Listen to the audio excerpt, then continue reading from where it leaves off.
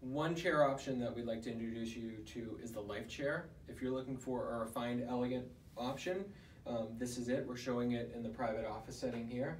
So it has a sleek back. We have mesh here, and then you can also include what we call a back topper to match the leather of the seat. And another part is it has an easily addable lumbar support.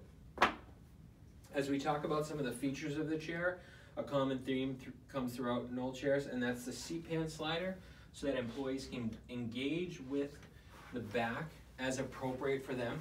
There's a number of different body types, so it's important for them to feel comfortable. We have high performance arms here for multiple different body types, so in and out, up and down, and how people work. And then with the life chair, you can also have it with a lockable back or the ability to be able to recline. Um, so that's the life chair.